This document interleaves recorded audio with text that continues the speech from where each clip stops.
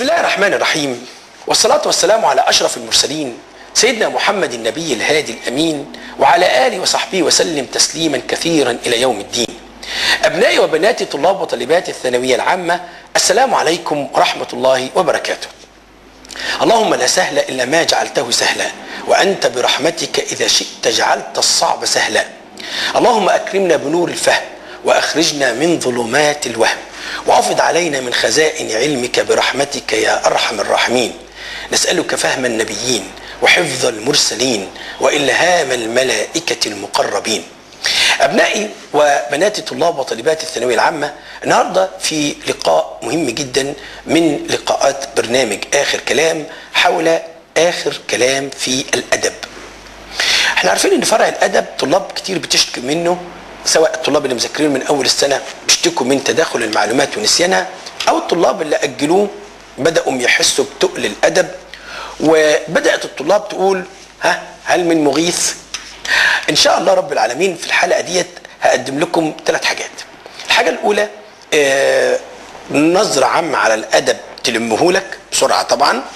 الحاجة الثانية هي مختارات أسئلة مهمة قوي لعلك تلاقي زيها بالظبط. الحاجة الثالثه والأخيرة هي تحذيرات. خلي بالك لحسن تخلط ما بين كذا وكذا خلي بالك لحسن يبقى عايز كذا وانت بتكتب في كذا خلي بالك من الإجابات الناقصة إلى آخره. نبدأ بالجزء الأول النهارده معانا وهو اطلاله على الأدب كده عشان نحس إن إحنا مسيطرين عليه. أول حاجة تعرف إن الأدب ده على ضخامته الأدب اللي قرفك ده هو، الأدب اللي قرفك ده على ضخامته هو تقريبا أربع عناوين بيتكرروا في كل حاجة. يعني من أول أدب الشعر لغاية أدب النثر هم تقريبا أربع عناوين بيتكرروا. معقولة؟ آه والله. تعالى كده نشوفهم هم إيه. أول حاجة رواد. أنت هتلاقي رواد في الكلاسيكية هتلاقي رائد رواد في الديوان رواد في أبولو. آه الرواد تتسأل فيهم طبعا. مين الرواد دولت؟ عملوا إيه؟ قدموا إيه؟ فالرواد دول مهمين جدا. عندك رواد في المهاجر عندك رواد في الواقعيه عندك رواد في المقال. طبعا المقال رواد المقال. من أول أحمد أمين ومصطفى أمين وطه حسين والعقاد والرافعي. ما هي دي رواد. رواد يعني الكتاب اللي هم بيكتبوا سواء شعراء أو أدباء اللي هم بيكتبوا النثر. كمان عندك رواد في القصة القصيرة. عندك البدوي وعندك يوسف إدريس. إيه رأيك بقى بطل تمسك ورقة كده ولما تحب تلم الأدب وتقوم عامل الرواد دي؟ لوحدهم كده. آه عشان تبص عليهم مع بعض. اسمها ورقة الرواد. أستاذ هيضيع وقتي. لا ما بيضيعش وقتك. ده بيرتب لك معلوماتك. طيب الحاجة الثانية العنوان الثاني اللي بيتكرر في الأدب كله من أوله لآخره العوامل. كلمة عوامل دي من أكتر الكلمات اللي بتتكرر في كتاب المدرسة أو في منهج الأدب عموما يعني. تعالى نمسك كده العوامل. أول عوامل لو تفتكر عوامل ضعف الشعر وبعدين عوامل نهضة الشعر والعوامل اللي أثرت في البارودي والعوامل اللي أثرت في جيل التطوير. ده بص المدرسة الكلاسيكية بس فيها أربع أربع مناطق بيتكلموا عن العوامل. عوامل ضعف الشعر إحنا عارفينها أنا مش هتكلم كتير مش هدي التفاصيل أنا بس بدي لك إزاي تمسك الأدب إزاي تحس إنك مسيطر على الأدب ومرتب المعلومات في دماغك بحيث إن هي ما تخشش مع بعضها. فأنا ماشي لك في الأدب بطريقة أفقية. فزي ما قلت لك في عوامل ضعف للشعر وعوامل نهضة الشعر اللي هي الحملة الفرنسية ومحمد علي والعوامل اللي أثرت في البارودي بارودي العوامل اللي هي تلمذته على إيد حسين المرصفي ونقاء ذهنه وسلامة فطرته وكمان حفظه للشعر القديم. دي العوامل آه هي ما بين السطور كده بس موجو- موجودة في كتاب المدرسة. العوامل اللي أثرت في البارودي. كمان العوامل اللي أثرت في شوقي اللي هي رحلاته ولغاته والجمهور والصحف والنقاد. دي عوامل أثرت في شوقي. وعوامل أثرت في جيل التطوير. جيل التطوير عندك اللي هي اطلاع على الثقافة الغربية النضال الوطني الجامعة فكرة الجامعة الإسلامية. ديت عوامل طبعا تأثرهم طبعا القوي جدا بالقدماء. عوامل أثرت في جيل التطوير. يا ده مدرسه الاحياء بس بص فيها عوامل قد إيه؟ آه لازم تبقى مدرك كده ومصنف كده عشان ما يفاجئكش بعامل من العوامل دي يقول لك اذكرها وانت ما وانت تتوه بقى. تكتب بدل العوامل الخصائص مثلا. لا طبعا مرفوض الكلام ده طبعا. طب مطران في عوامل أثرت في مطران؟ للعوامل اللي وجهته للرومانسية اللي هو احساسه المرهف ولبنان والطبيعة اللي عاش فيها يعني بالإضافة إلى تأثره بالثقافة الفرنسية. أدي عوامل مطران الديوان فاكر العوامل بتاعت الديوان؟ الكبت الاستعماري البغيض وهروبهم وإحساسهم بظلم الواقع و ويأسهم من تغييره فلجأوا إلى الطبيعة. هي دي العوامل وثقافتهم الإنجليزية من ضمن العوامل. ومطران طبعا أثر فيهم. ده الأب الروحي لهم هو وإن اختلفوا عنه في بعض الأشياء إلا إن دي تعتبر عوامل. شفت سؤال العوامل عامل إزاي؟ الديوان فيها عوامل؟ طبعا فيها عوامل. أبولو فيها عوامل صراحة. مدرسة أبولو فيها خمس عوامل. مطران وثورة 19 والصراع الأدبي ما بين الإحيائيين وما بين الديوان. هم استفادوا من الثلاثة اللي جوه دول واستفادوا من حاجتين بره. استفادوا كمان من الصراع عفوا من آه، أحمد زكي أبو شادي اللي هو رائدهم اللي اتربى في إنجلترا فتاثروا بالثقافة الإنجليزية وكمان اتأثروا جدا بمدرسة المهاجر. مدرسة المهاجر أصلا كانت بتأثر في الوطن العربي كله ده من من الأسئلة المشهورة بسبب اتحاد المذهب وبسبب إن هم كانوا رمز للتجديد. أدي عوامل في المهاجر في في في أبولو. المهاجر لها عوامل. آه طبعا الحريه فاكر؟ واختلاف الإطار الاجتماعي والثقافي والتفرقة العنصرية والتقدم الكبير اللي أصابهم بشبه الدوار وعندك كمان الحنين إلى الإيه؟ إلى الوطن. دي عوامل.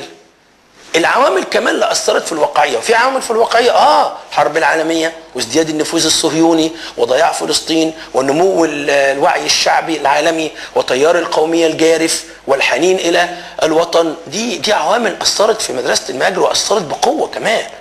طب العو... خلصنا الشعر اهو هندخل في. في النثر. آه النثر فيه المقال المقال فيه عوامل. اثرت عوامل إيه يا أستاذ مالها ومال العوامل دي؟ لأ إزاي؟ مش في عوامل بتخلي المقال يعني يتنوع في عوامل اللي هي موضوع آه حسب موضوع ال- المقال اللي بيكتب فيه وحسب ثقافة الكاتب وشخصيته وحسب وسيلة النشر. العوامل دي هي اللي بتؤدي إلى تنوع المقالات. أدي عوامل في المقال.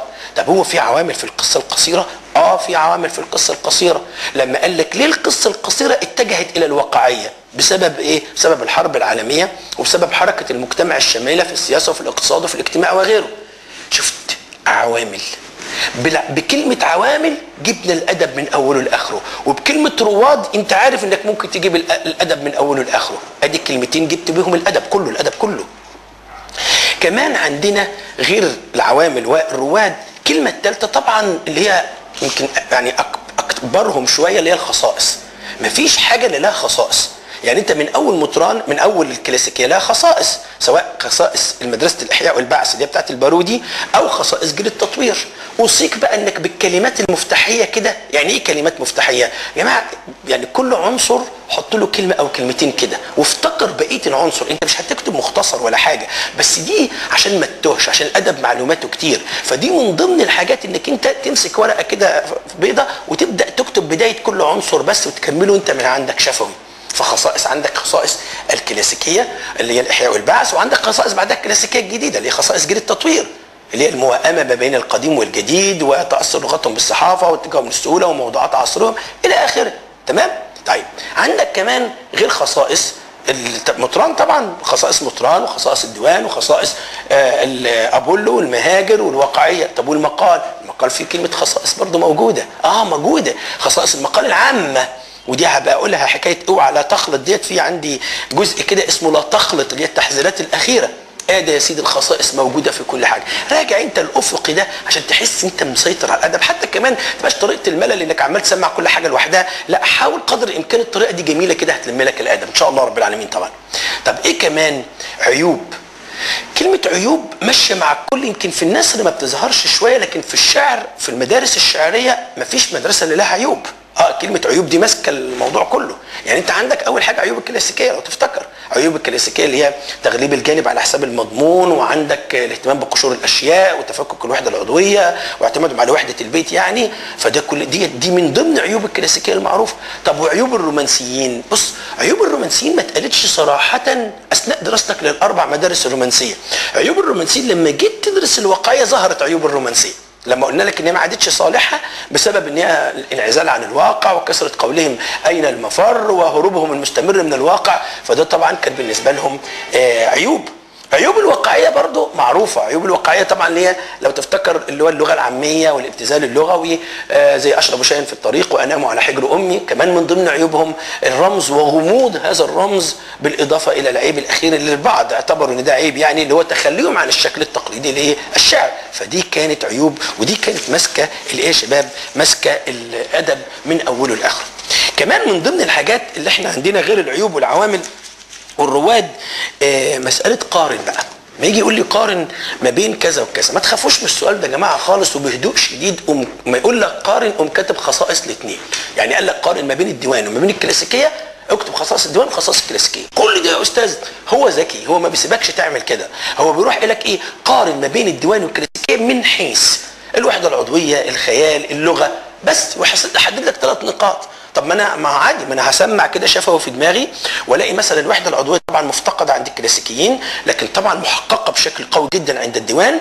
هلاقي اللغة عند الكلاسيكيين تراثية لكن اللغة عند الديوان عصرية. هو ده اللي اتذكر في الكتاب عن اللغة على فكرة. يعني ال- الكلاسيكيين كانوا. الأحيائيين كانوا بيعتمدوا على ال- الأدب القديم وعلى الصحراء وعيون المها وملاعب الآرام يذكروا الخيام مش عارف إيه. دي لغة الكلاسيكيين. لكن لغة الديوانيين كانت لغة عصرية مأخوذة من عصرهم ويغلب عليها الذهنية. طبعا زي ما أنت عارف لأن أصلا الديوان كل حاجة فيها بيغلب عليها الذهنية. بس أنا عملت إيه؟ جبت الخاصية اللي هنا وجبت الخاصية اللي هنا. عادي بجيب من الخصائص. لما أقول لك قارن ما بين الوحده العضويه عند الاثنين. قلت قلت لك طبعا الديوان بتحققها لكن الكلاسيكيين ما بيحققوهاش. طب افرض قلت لك بقى الخيال. طبعا الخيال عند الكلاسيكيين جزئي لكن عند الديوانيين إيه؟ عند الديوانيين آه كلي. برضه من ضمن قارن المهمة والمشهورة قوي إن أنا أقول لك قارن ما بين أول مدرسة وآخر مدرسة اللي هي المدرسة الكلاسيكية ومدرسة مين؟ ومدرسة الوق... المدرسة الواقعية المدرسة الجديدة. طبعا شتان ما بين الاثنين. دول بيعتمدوا طبعا على اللغة المباشرة أو الطريقة المباشرة لكن الواقعيين بيعتمدوا على الرمز. حتى في في النصور هتلاقي في كتاب المدرسة كده بيت بتاع البارودي. البيت بتاع البارودي اللي بيقول فيه ألا إن الأيام تجري بحكمها فيحرم فيحرم ذو كد ويرزق وادعه تخيل لو جه قال لك بقى ده في النصور وجي قال لك قارن ما بين طريقة تعبير البارودي وبين طريقة محمد إبراهيم أبو سن على فكرة ده مش من النص ده من الأدب. فانت هتعمل إيه؟ تقول ان البارودي عبر بالخيال الجزئي. محمد إبراهيم أبو سن عبر بالخيال الكلي. البارودي عبر بلغة خطبية مباشرة. محمد إبراهيم أبو سن لا عبر بلغة رمزية. البارودي عبر بخيال جزئي ده خيال كلي. البارودي عبر بالبيت ده عبر بالسطر. البارودي عبر بالوزن ده عبر بالتفعيلة. نيجي بقى ليه قارن أيضا لكن مش ما بين المدارس الشعرية ما بين الفنون النثرية. انت عندك مقارنة مشهورة قوي ما بين القصة القصيرة وما بين الرواية. إن كانت الرواية تتناول قطاع طولي القصة القصيرة تتناول قطاع عرضي. وإن كانت الرواية تتوغل في أبعاد الزمان والمكان فالقصة القصيرة تتوغل في أبعاد النفس الإنسانية. أهو ده برضو أيضا سؤال قارن وسؤال مشهور. وعلى فكرة الرواية يعني بجد من الأسئلة اللي ممكن تيجي فيها ومهمة جدا يا ريت تكتبوها عندكم. الرواية التاريخية. تعرف إن تعريف الرواية بقى أنا مش هقول في كلام محفوظ عادي سهل بالنسبة لكم تعريف الرواية ومكونات الرواية. كل ده بسيط خالص أنت لو قريته هتلاقي كلام بسيط وسهل جدا. لكن في حتة أنواع الرواية وبالذات بقى الرواية التاريخية. الرواية التاريخية ديت يعني من ضمن الأسئلة المهمة اللي تكتبها وتعرفها وتاخد بالك منها لأن لازم تعرف يعني إيه رواية تاريخية. الرواية التاريخية اللي هي بتقوم على أساس التاريخ وبتتناول شخصية أو بتتناول حدث. بتعتمد على إيه الرواية التاريخية؟ بتعتمد على الصراع البشري والتشويق وتضارب العواطف الإنسانية بتعتمد على كده ولها إسقاطات على الواقع. الحتة دي مهمة قوي بقى. يعني إيه إسقاطات على الواقع؟ يعني أنا لما بتناول رواية معينة أو فترة معينة تاريخية بربطها بالواقع اللي إحنا عايشينه يعني تخيل مثلا لو واحد عمل دلوقتي فيلم عن صلاح الدين. آه يبقى هي رسالة لهذا الجيل أن حرروا القدس كما حررها صلاح الدين الأيوبي. فده هدف الرواية التاريخية. شوف أنا قلت كام حاجة؟ قلت إيه هي الرواية التاريخية؟ وقلت بتعتمد على إيه؟ وهدفها إيه؟ إيه هدف الرواية التاريخية؟ معروف إن هدف الرواية التاريخية إثارة الوعي القومي إثارة الحماسة تجسيد الأعمال البطولية عشان تبقى مثل أعلى الجيل ده يحاول إن هو يقلد هذا المثل الأعلى يبقى أنا عندي أهداف الرواية التاريخية. فالحته على فكرة الرواية التاريخية أسئلة فيها حلوة. فعلامة تعتمد ما الرواية التاريخية؟ وعلامة تعتمد وما أهدافها. ثلاث أسئلة. فلازم نكون عارفين إجابة الأسئلة دي كويس قوي. وهو ما جابش في الكتاب مثال للرواية التاريخية لكن إحنا درسنا قبل كده آه واسلاماه كانت مثال واضح جدا على الرواية الإيه شباب؟ على الرواية التاريخية. في أنواع أخرى طبعا من الرواية زي ما إحنا عارفين الواقعية والرومانسية. وفي كان في زمان في الكتاب بس اتشالت عشان لو لقيتها في بعض الأسئلة روايات اسمها رواية الخيال العلمي. المهم إنها موجودة لكن الكتاب لم يذكر مثالا على الرواية التاريخية. طب الاستشهادات بقى.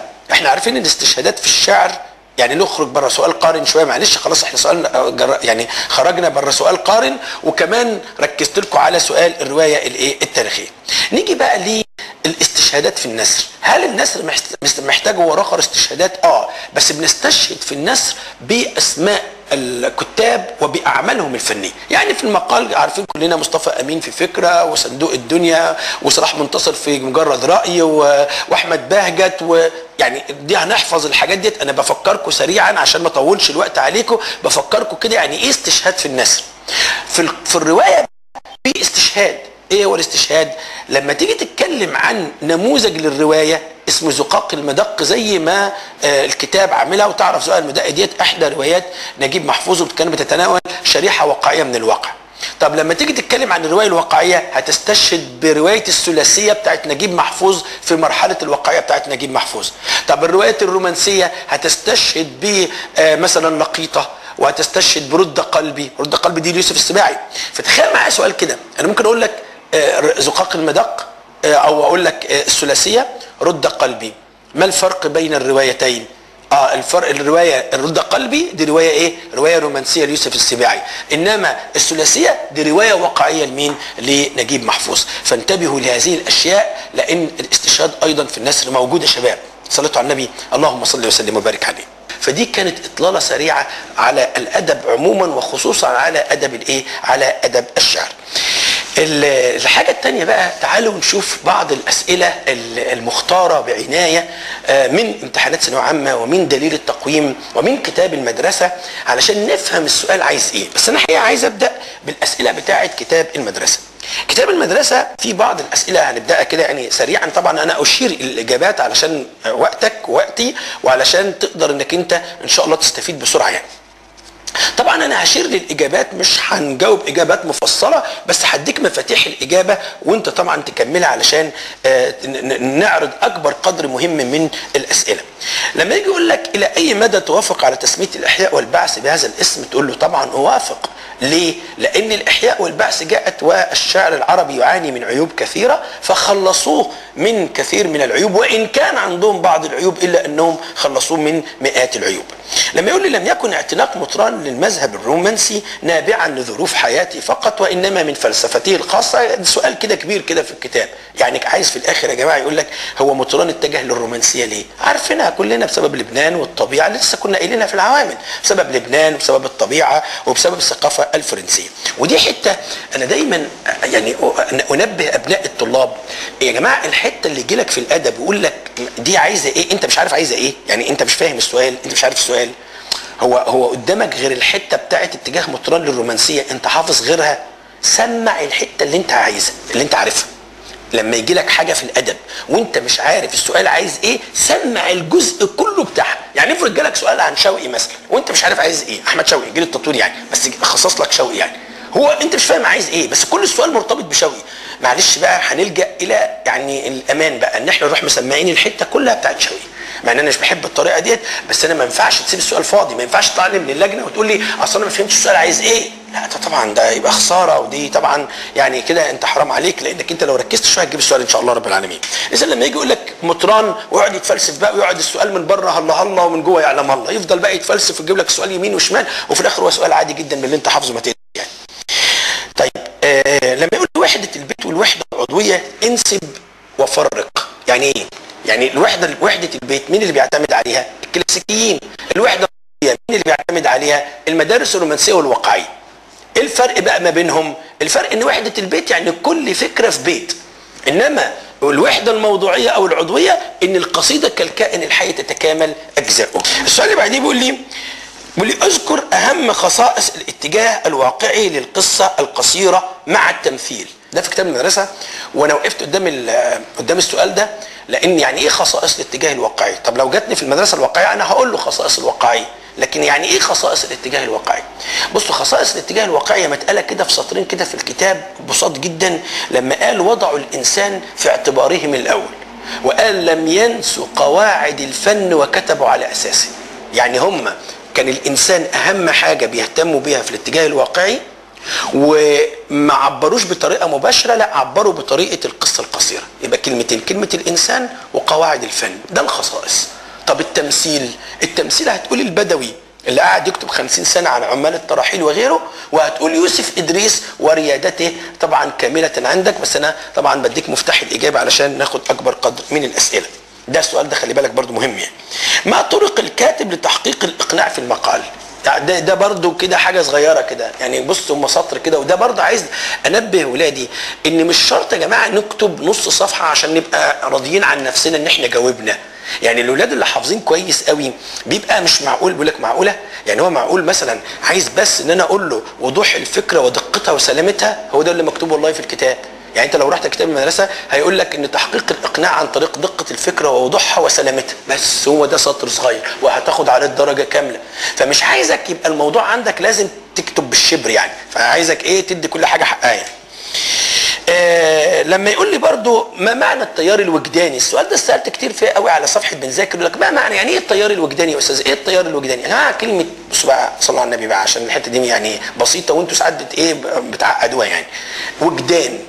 إحساس شعور جو نفسي كل ده يعني العاطفة. وجدان شعور إحساس جو نفسي كل ده معناه العاطفة. فلما أقول لك التيار الوجداني عند مثلا أبولو أو التيار الوجداني عند مطران معناها العاطفة معناها العاطفة وأثرها طبعا وهي مهمة جدا ركن أساسي من الرومانسية ما عدا الديوان طبعا كان الجانب العاطفي ده عندهم باهت شوية. آه لما أقول لي برضو آه إلى أي مدى تختلف لغة الشعر عند الديوان؟ أقول له إنها لغة عصرية أخذت من عصرها. طب ناقش أوجه الاختلاف والاتفاق بين أبولو والديوان. بص هم متفقين في كل حاجة. متفقين في الرومانسية وفي الوحدة العضوية وفي ذاتيه التجربة وفي الحزن والتشاؤم وفي الهروب من الواقع. بص متفق تقريبا كل الخصائص متفقين فيها. ما عدا نقطة أساسية ودي قلتها وأنا بتكلم من شوية الذهنية الله ينور عليك. يعني إن كان الديوانيين إن كان الديوانيون يغلبون الجانب الذهني على الجانب الوجداني إلا أن الأبولو طبعا لم تصنع هذا الصنيع. ما دوافع غلبة الرمز عند المهاجر مع التمثيل؟ كل اللي قالوا فيه قاصدين بذلك إلى دلالات تستنبط من القصيدة. الجملة دي اللي اتقالت في كتاب المدرسة. قاصدين بذلك إلى دلالات تستنتج من القصيدة. فلما يجي يقول لك ليه المهاجر استخدموا الرمز؟ اللي هي بمعنى آخر جذب الانتباه. يعني المهاجر لما استخدموا الرمز لأن هم لقوه بيخرجهم عن الإطار الإيه؟ الإطار التقليدي للقصيدة وبيعمل نوع من جذب الايه شباب جذب الانتباه. هل تحققت مقومات القصة القصيرة في قصة نظرة؟ وضح لما تقول. الحقيقة يعني إيه مقومات القصة القصيرة يا جماعة؟ يعني اللي هي مبادئ القصة القصيرة. فما تتخضش بالسؤال ده. مقومات القصة القصيرة هتقول لي مبدأ الوحدة؟ مبدأ التكثيف وتفاصيل الإنشاء. وفعلا تحققوا في نظره يعني مبدأ الوحدة نظرة بتعالج فكرة واحدة بعاطفة واحدة لهدف واحد. الفكرة الواحدة هي الأطفال المطحونة ديت والعاطفة الواحدة الإشفاق على هذه الأطفال والهدف الواحد هو إزالة العناء عن هذه الأطفال. أنا كده استنتجته من قصة نظر. طب والتكثيف والتركيز طبعا الكاتب حققه بقوة جدا عن طريق إن هو آه لم يستطرد في أش... لم يأتي بشخصيات ثانوية ولم يستخدم الألفاظ إلا بعناية فحقق مبدأ مهم جدا التكثيف والتركيز بوحدة الفكرة ووحدة الهدف ووحدة الانطباع. أما عن تفاصيل الانشاء أيوه السؤال طويل شوية معلش. طب هتقول له تفاصيل الانشاء الشخصيات. هتقول له الأربع شخصيات اللي هو الكاتب كراوي والبنت كبطلة والأطفال اللي كانوا بيلعبوا والست اللي هي المخدومة الست المخدومة السيدة اللي هي الطفلة بتشتغل عندها يبقى دول الأربع شخصيات وكلهم أساسيين طبعا. وحقق التشويق لما كان مثلا والبنت بتعدي الشارع وهو قال وأنا عديت وراها ولقيتها وقفت فجأة فقدم أحداث وأخر أحداث للتشويق فحقق مبدأ التشويق وهكذا. فالكاتب فعلا حقق كل مقومات القصة القصيرة. دي كانت أسئلة مختارة من كتاب المدرسة وأسئلة مهمة للغاية. تعالوا بقى أسئلة سريعة كده من امتحانات الثانوية العامة علشان بيكررها. على فكرة الأسئلة دي بتتكرر وأنا عايزكم تبقوا يعني بعودكم حتى لو ما كررهاش بالظبط عايز أعودك بس على إنه ساعات بيلف كده في السؤال يمين وشمال وأنت سيبك منه. يعني عايز إيه يعني نتخطى فكرة السؤال عايز إيه ديت. يقول لك إيه مثلا؟ بص ما الذي كان ينشده البارودي من مجاراة فحول الشعراء ومعارضته لهم في العصور الحديثة الراهنة؟ البارودي ماذا كان ينشد؟ يعني كان عايز يعمل إيه يعني؟ اولا مكتوب في كتاب المدرسة صراحة إنه كان بينافسهم يعني كان في نوع من المنافسة عشان يعلي من مستواه الشعري وعشان يقدر يرقى بالشعر فكانت منافسة البارودي لهؤلاء من أجل الرقي بالشعر. وليثبت أن الضعف الذي طرأ على الشعر العربي إنما هو يعود لضعف الشعراء وليس لضعف اللغة الإيه؟ العربية. فديت كان الهدف من مجاراه يعني إيه مجاراه عشان في سؤال قبل برضه طرح بعد قبل كده اللي هو ما معنى المجاراه المجاراه يعني المحاكاة والتقليد ده بالنسبة للي كان بينشده البارودي بيقول لي آه بعد كده يقول لي آه بص كده تولدت موضوعات جديدة لدى مدرسة الديوان انطلاقا من مفهوم الخاص للشعر عندهم وضع ذلك. يعني إيه يا أستاذ؟ يعني إيه المفهوم الخاص للشعر تولدت؟ هو السؤال هنا بيتكلم عن إيه؟ عن موضوعات الشعر. خلاص بقى سيبك من اللي حواليه خالص. أنا عايز بص أنا بعودك أهو. سيبك من ال... سيبك من الهيصة دي. هو ركز معايا. السؤال بيتكلم عن إيه؟ موضوعات الشعر عند الديوان. طب أنت تعرف إيه في موضوعات الشعر عند الديوان؟ خد عندك موضوعات الشعر عند الديوان. رجل المرور والكواء. مش كده؟ مش هي دي الموضوعات؟ تكتب له كل ما است ورسائل المزن لنفسه. كل ما استحدثه الديوانيون من موضوعات. وزي ما قلنا أرجع للمبدأ تاني اللي أنا بدأت بيه وكنت بقول لك عليه. لما ما تعرفش السؤال عايز إيه؟ سمع الجزء كله بتاعه أرجوك لو سمحت. آه ما مفهوم الشعر عند الديوان؟ ساعات تقول له ما مفهوم القصيدة عند الديوان؟ الاجابه صغيرة على فكرة. مفهوم الشعر عند الديوان هو التعبير عن النفس الإنسانية. بس هو ده هو ده مفهوم الشعر عند الديوان. طب القصيدة مفهومها إيه عند الديوان؟ إن هي كالكائن الحي تتكامل أجزاؤه. هكتب دي بس يا أستاذ في ناس تستخسر يقول لك أنا حافظ الخصائص كلها أنا هكتب الخصائص كلها. لا طبعا. لا طبعا ده هيأثر على وقتك. خلي بالكم يا جماعة الحتة دي مهمة. من الحاجات اللي بتضيع الوقت في اللجنة إنك عايز تكتب كل حاجة أنت عايزها. لا اهدى كده وما تخافش.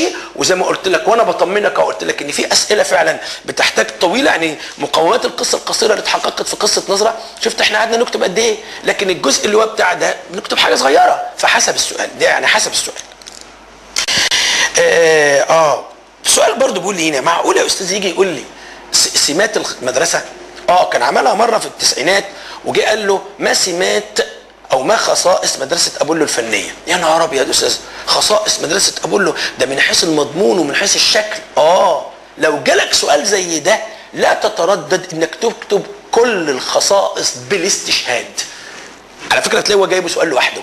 يعني مش جايب معاه أسئلة بقى تانية اللي هو سؤال بس في المقال ولا في القصة القصيره صغير كده. فيا جماعة لما طالما ما حددش ثلاثة ولا أربعة اكتبهم كلهم. طب يا أستاذ لو نسيت خاصية يعني ولا وقعت مني حاجة لا ما تخافش. يعني خاصية ولا ولا حاجات بسيطة كده ما تبقاش بقى إيه يعني آه عايز بقى كل كلمة وتقعد تفتكر كل كلمة وكأنك بتمتحن أدب بس. لا ما تخافش. لو حتى نسيت خاصية سؤال كبير إن شاء الله مش هيخصم لك حاجة بس أنت إيه تملى عينه يعني. اكتب الإجابة اللي تملى العين يعني. آه برضه بيقول لي هنا بص بيقول لي سؤال برضه غريب شوية. بيقول لك علل اتخاذ شعراء المهاجر القصة وسيلة للتعبير. يا ترى ليه القصة ليه المهاجر اتخذوا القصة وسيلة للتعبير؟ هو جايبها برضه في كتاب المدرسة قال له للتعبير عن دلالات أو لتحليل العواطف الإنسانية المشاعر الإنسانية يعني تحليل المشاعر الإنسانية والتعبير عن صراع الفكر والقلب حول قيادة النفس. يعني هم ألفوا قصص علشان يعبروا عن تحليل المشاعر الإنسانية وصراع الفكر والقلب في قيادة النفس. دي يعني برضو سطرين كده صغيرين كده بمجايبهم فخلي بالك برضو من هذا الإيه هذا السؤال. السؤال اللي بعديه بيقول لي وأما تلاميذ البارودي بين اتجاهين؟ آه أنت عارف اللي هو الاتجاه القديم والاتجاه الإيه والاتجاه الحديث. الله ينور عليك. فيما اتفق شعراء المهاجر وفيما اختلفوا مع مدرسة الديوان نفس بتاع أبولو بالظبط. اتفقوا في كل شيء ما عدا مين؟ طبعا هتقول له إيه؟ اللي اتفقوا فيه زي تيتي التجربة وحارة العاطفة. طبعا زي ما قلت أنا بدي مفاتيح إجابة سريعة عشان بس أخ... أنا بكلم ناس مذاكرة أدب ناس عندها فكرة عن الأدب فمش بكلم ناس لسه عايز التوقعات ويجري يعني. لا طبعا معلش يعني ديت إيه أنا بكلم الناس اللي تعبانة من أول السنة يعني.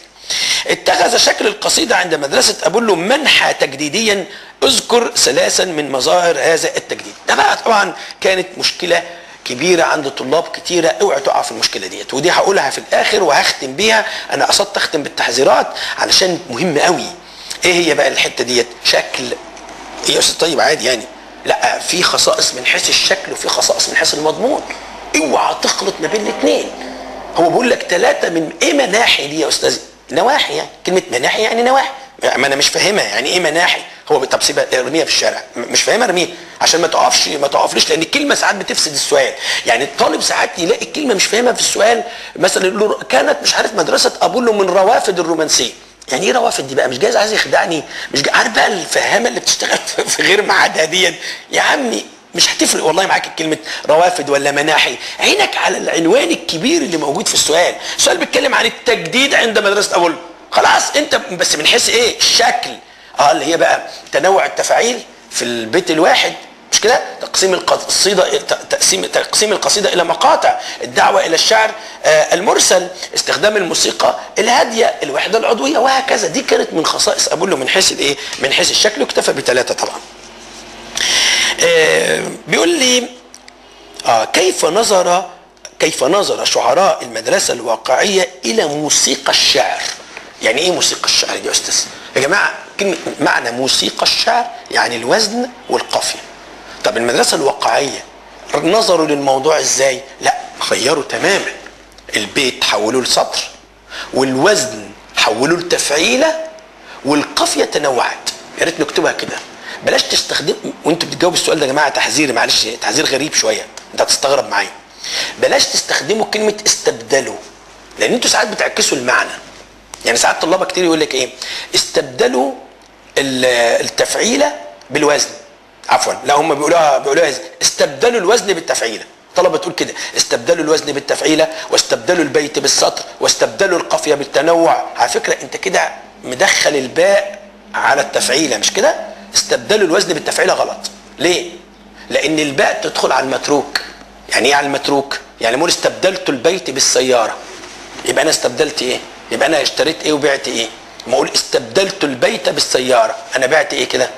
آه أنا بعت الإيه؟ السيارة. لأن الباء تدخل على المتروك. فأنت لو قلت استبدلوا الوزن بالتفعيلة أنت عكست الدنيا. أنت كده قلت إن هم خدوا الوزن وسابوا التفعيلة. حتى ربنا سبحانه وتعالى في القرآن أتستبدلون الذي هو أدنى بالذي هو خير؟ العلماء علموها لنا. قال لك الباء تدخل على المتروك. يعني تشوف أنت هتترك إيه وتحط فيه الباء؟ اللي هي مع كلمة استبدلها يعني. فانت لو عايز تقولها استبدلها تقول إيه؟ ها؟ استبدلوا التفعيل بالوزن واستبدلوا السطر بالبيت والقافية تنوعت فعشان نكتبها صح لقيت نفسك هتتلخبط بقى وانت ما صدقت تز... يعني مش عايزين فلسفة قول يا سيدي وضعوا أو استخدموا الوزن بدلا التفعيل بدلا من الوزن عشان يعني إيه ما تلخبطش نفسك بس خلي بالك عشان تكتبها صحيحة لأن طبعا لو وقف قصادها ممكن يعني إيه ممكن يعني ينزلها لك آه لأنه من حقه طبعا. ده يا شباب عن بعض الأسئلة اللي إحنا قلنا عليها واخترناها وفي برضو بعض الأسئلة كده أشير إليها. ما كانتش أسئلة قوية قوي بس برضو يعني أشير إليها. مثلا بقول لك العوامل اللي أثرت في البارودي. العوامل اللي أثرت أنا قلتها من شوية اللي هي نقاء ذهنه وسلامة فطرته وتتلمذه على يد الشيخ حسين المرصفي وقراءته للشعر الإيه؟ القديم. المقصود بالمجاراه إيه؟ المجاراه يعني المحاكاة. لما يقول لي بقى حاجة غريبة شوية علل غلبه الذهنية على شعر الديوان؟ طب أستاذ أنا عارف إن الديوان عندهم الذهنية غالبة. طب طب ليه؟ آه بص ليه ديت؟ علشان هم كانوا بيتعمقوا في ظواهر الأشياء ليصلوا إلى بواطنها. يعني بمعنى الأصح بيفكروا في بواطن الأشياء وليس في ظواهرها بس. أنت عارف لما خدوا على الكل... فاكر لما لاموا على الكلاسيكيين اهتمامهم بقشور الأشياء؟ فدي كانت من ضمن العيوب اللي كانت عند الكلاسيكيين وهم بقى يا سيدي بقى اهتموا قوي ببواطن الأشياء وتأملوا قوي فده اللي خلى الذهنية عندهم تغلب على الإيه؟ تغلب على على شعرهم. كمان لما هم حاولوا أو تأملوا في الكون كثيرا ده برضه خلاهم نزعة التأمل خلتهم يغلبوا الجانب الفكري على الجانب الوجداني. سؤال مشهور جدا بيقول لي هل ترى تعارض ما بين حب الطبيعة والحزن والتشاؤم؟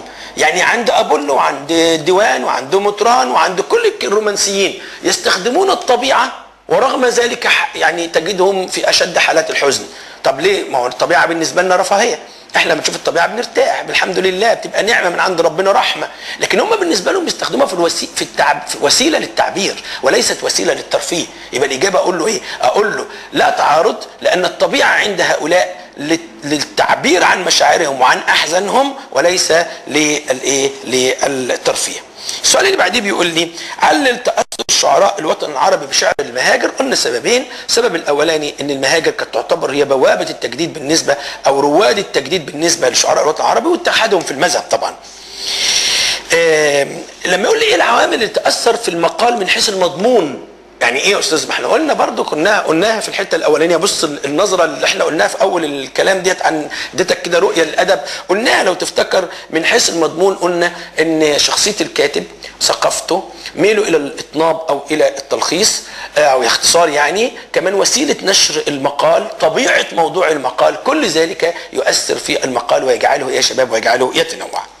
ده عن الأسئلة المختارة سريعا من آه من دليل تقويم امتحانات الثانويه العامه كتاب المدرسة وصدقوني والله العظيم ما هتلاقوا بره الأسئلة دي عشان ما حدش يجي يقول لي أستاذ طب تتوقع إيه بقى في الأدب؟ يعني انت انت قول لنا بقى تتوقع إيه في الادب؟ لعبة التوقعات ده يا جماعة يعني خبط عشواء نوع من التصور على الغيب يعني أو نوع من أنواع الايه اقتناص الفرصة يعني. إن واحد عايز يقول لك حاجة ولما تيجي يبقى هو كده قال حاجة. لا أنت معاك منهج. وبالهدوء اللي أنا بتكلم بيه ده هتلاقي الأسئلة قدامك بسيطة خالص وأنت مرتب معلوماتك مش هيهمك إيه اللي يجي بقى. لأن ساعات تبص تلاقي الطلبة آه آه ده اللي هيجي هيجي وهو مش مركز مش عارف هيكتب إيه أصلا ولا مركز في اللي بيكتبه يعني. طيب آه زي ما قلت بقى آه خلي بالك بقى من بعض التحذيرات بقى وبعض الملاحظات. انتبهوا بقى يا شباب أخيرا أختم بقى بالملاحظات والتحذيرات. اولا آه هل هناك سمات أسلوب الشاعر يعني يعني دي حتة في النصوص آه بس أنا بلحق أقولها لك عشان هي مرتبطة بالأدب. لو جه قال لك سمات لو جه قال لك كده سمات أسلوب مطران سمات أسلوب أحمد شوقي سمات أسلوب إبراهيم ناجي على طول سمات المدرسة. يبقى انت اكتب في ملاحظاتك كده. إذا طلب منك في النصوص سؤال عن سمات الشاعر اكتب بتاعة المدرسة بتاعته. سمات الشعر هي سمات مدرسته خصائص المدرسة يعني. اكتبهم كلهم يا أستاذ والله اللي تقدر عليه بقى. بس هو ما بيجيبش كده يعني هو هو فعلا ما بيجيبش كده. هو يجيب بقى خصائص الكاتب. يعني يجيب لك خصائص الرفعي طبعا. الرفع طبعا موجودة خصائص الرفع في الكتاب بالنص ولازم تكتبها زي ما هي في الكتاب. مش الناس بقى اللي بتحفظ لي خصائص عامة وتكتبها في أي كاتب وأي شاعر. الكلام ده طبعا ما ينفعش في ثانوية عامة خالص. طب بالنسبة لي صلاح منتصر برضه في تسلسل الأفكار ووضوحها إلى آخره. آه في خصائص لكن الشعراء ما عندهم ما عندناش خصائص للايه يا شباب للشعراء. طب الشواهد بقى مشكلة الشواهد بقى اللي عاملة لي قلق على صفحة الفيس وفي التليفون وفي كل حتة. أستاذ إحنا من أول السنة ما بنحفظش. أستاذ أنا مش لاحق. طب ما تجمع لنا الشواهد. طب ما ت... بصوا يا جماعة يعني أنا أنا مش مش هقدر أديك حل سحري. يعني في الآخر وفي الأول آه لازم أنت تتعب ولازم تقعد تذاكر ولازم آه تخفف عن نفسك آه. فحاول أنت بقى تاخد بيت واحد على كل حاجة وتستشهد بيه بيت واحد. إلا إذا كان بقى إمتى تستشهد بأكتر من بيت؟ لازم تستشهد بأكتر من بيت. لو كان الكلام عن الشعر المرسل يعني أنت مثلا بيقول لك استشهد على الشعر المرسل عندي مثلا عند الديوان. ما ينفعش أكتب له بيت واحد. إزاي استشهد له على تنوع القافية وأنا جايب له بيت واحد؟ المفروض إن في قافيتين. يعني اللي الأبيات بتاعت العقاد اسائل امنا الأرض؟ سؤال الطفل للأم فتجيبني بما أفضى إلى إدراكه علمي جزاها الله من أم إذا ما أنجبت تأدي واخد بالك؟ آه لازم أقول الثلاث أبيات بقى معلش المرة دي يعني. أما بقى هل يجوز إن أنا أستشهد من النصوص المقررة عليا؟ آه بس بشرط يكون مناسب للخاصية اللي هو طالبها. ف يعني لازم تركز كده. أنا غربه وحنين مثلا وعايز أستشهد على حاجة. آه ماشي. لكن ما ينفعش أقول له وصف المخترعات الحديثة وأروح أستشهد له من غربه وحنين. هو ما وصفش المخترعات الحديثة. حتى السفينة ما وصفهاش. يا ابنة اليم كان بيعاتبها وخلاص. فاذا لابد من الذكاء في الربط بين ما حفظت من النص وما أريد أن أستشهد عليه بالأدب. والباقي طبعا لابد أن يحفظ. اللي بيقول ما بتجيش يروح يبص بقى في كتاب المدرسة مع التمثيل كل شوية ويبص في امتحان ثانوية عامة برضه في التمثيل. ما احفظ هتحفظهم والله إن شاء الله بإذن الله. ده حاجات بسيطة خالص. ده يا جماعة حاجات ما تاخدش يعني ساعة حفظ. بجد اقعد آه ساعة كده واختار أبيات صغيرة وسهلة كده وإن شاء الله هتحفظها بإذن الله بس. آه لما يجي يقول لك بقى آه ما يجي يقول لك إيه سمات أو إيه مضمون الشعر الجديد؟ إيه سمات الشعر الجديد من حيث المضمون؟ الشعر الجديد الشعر الجديد يعني المدرسة الواقعية. ده سؤال ثانوية عامة. أنا جبته حتى في الملاحظات عشان أقول لك خلي بالك. سؤال ثانوية عامة قال له قبل كده ما سمات الشعر الجديد من حيث المضمون؟ الشعر الجديد أحد تسميات المدرسة الواقعية فانتبهوا لهذا السؤال. آه نيجي بقى لكلمه مآخذ. يعني لما يجي يقول لي ما المآخذ التي اخذت ما الم... المآخذ يعني العيوب يا جماعة. أيوه المآخذ يعني العيوب. أنا بأكد عشان اللي إيه اللي مش عارف. طب لو طلب مني الخصائص اكتبها كلها؟ آه زي ما أنا قلت من شوية. آه لما يجي يقول لي التجديد في البناء ما يقول لي البناء وضح التجديد في بناء القصيدة. كلمة بناء يعني شكل القصيدة. كلمة بناء اللي هو التجديد من حيث الشكل. فتلاحظ أبولو الديوان المهاجر الواقعية من أول دول الخصائص بتتقسم اتنين. أبولو في خصائص من حيث أبولو عفوا أبولو المهاجر الواقعيه عفوا الديوان لا. أبولو المهاجر الواقعيه الثلاث مدارس دولت الخصائص بتنقسم لاثنين تبص لها مضمون شكل مضمون شكل مضمون شكل. إنما الثلاث مدارس الأولانيين الكلاسيكية مطران الديوان خصائص على بعضها. فخلي بالك في الثلاث مدارس التانيين هو بيسأل في إيه؟ خصائص من حيث إيه؟ من حيث الشكل ولا من حيث المضمون؟ فنقطة خطيرة جدا وهقولها لك كمان شوية فلا تخلط علشان نختم بيها عشان تفضل في ودنك. آخر حاجة احذر من الخلط بينه طب ما هو الاستشهاد في النثر خلاص قلناه؟ ما الفرق بين تسمية الديوان والكلاسيكيين لدواوينهم ده سؤال برضو أنا يعني جبته كده وأنا وأنا بقرأ كده أثناء ما كنت بتصفح الكتاب.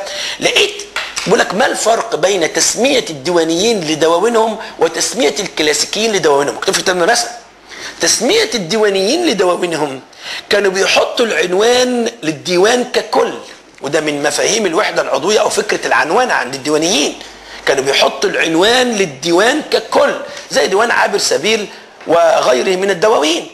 أما الكلاسيكيون كانوا يقولون ديوان شوقي ديوان البارودي ديوان آه مثلا حافظ إبراهيم فما كانوش بيحطوا للديوان عنوان. فدي حتة كده ما بين السطور عشان ما إيه ما يعني ما يضحكش علينا ولا يجيب لنا قلقه تايهه يعني. برضه يقول لك إيه لم يقف الكلاسيكيون عند القصيدة. وضح ذلك. يعني إيه يا أستاذ لم يقفوا عند القصيدة ديت؟ ده سؤال برضو كده من وسط كده. يعني إيه لم يقفوا عند القصيدة؟ آه لأن هم عملوا حاجتين غير القصيدة. اللي هي المطولات بتاعه مجد الإسلام بتاعه أحمد محرم اللي هي الالياذه الإسلامية اسمها المطولات وعندك كمان الشعر المسرحي. أحمد شوقي عمل الشعر المسرحي. اذا هم عملوا ثلاث أنواع من الشعر. الشعر الغنائي اللي هو القصيدة والشعر الملحمي اللي هو بتاع أحمد محرم اسمه كده المطولات أو مجد الإسلام أو الملحمي إلى آخره الشعر الملحمي اللي هو الالياذه الإسلامية.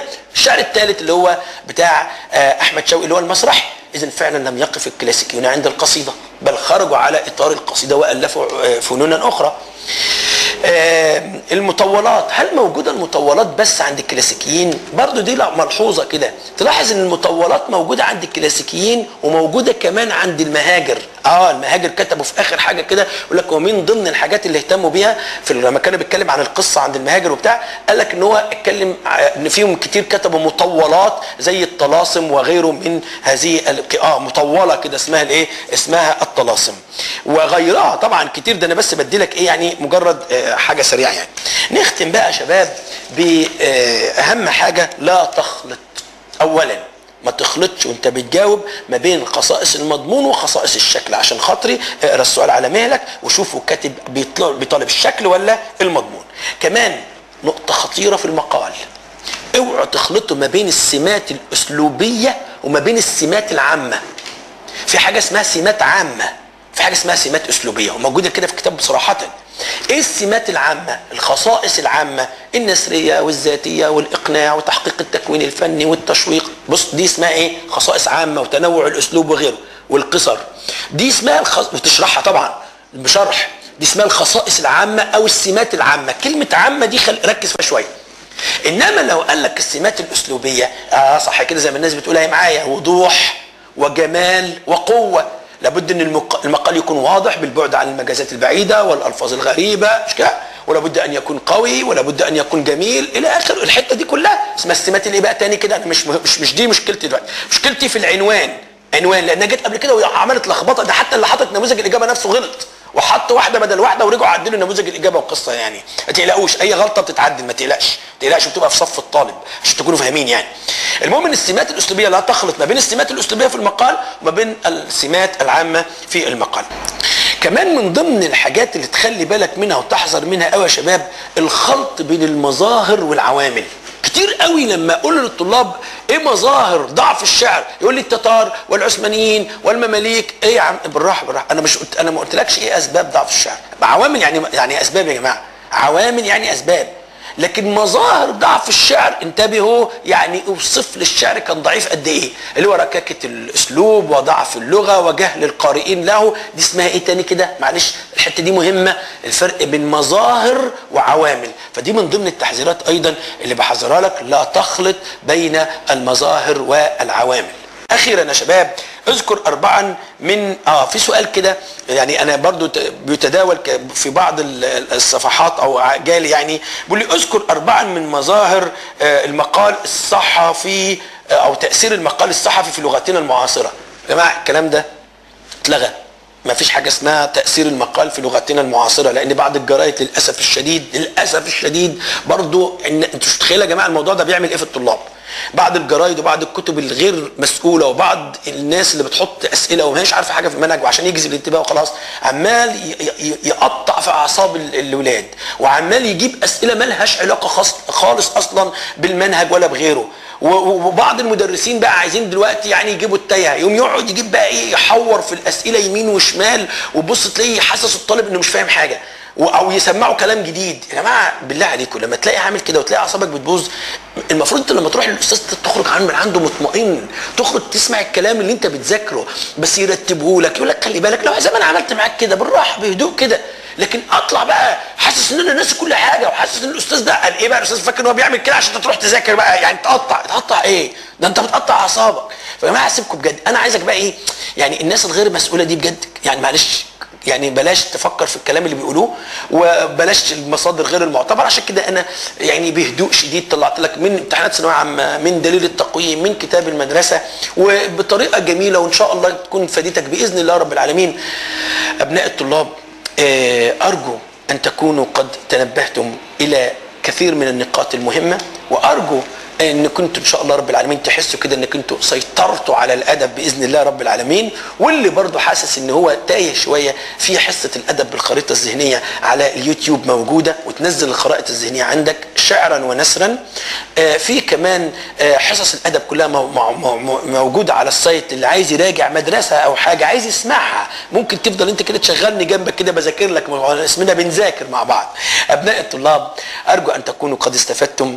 فيا رب كده إن شاء الله بإذن الله يآمن روعاتكم ويشرح صدوركم ويذكركم ما نسيتم ويعلمكم ما جهلتم وإن شاء الله رب العالمين يبارك لكم في كل شيء. أستودعكم الله الذي لا تضيع ودائعه. وإلى اللقاء في النصوص إن شاء الله رب العالمين. قريبا جدا النصوص على طول. أقول لكم برضو كده برضو طوفة كده ونجيب الأسئلة ونعرف كل الأسئلة اللي على صفحة بنذاكر إن شاء الله. أختار منها الأسئلة المعتبرة والمهمة وتكون مفيدة إن شاء الله. أبناء الطلاب السلام عليكم ورحمة الله وبركاته.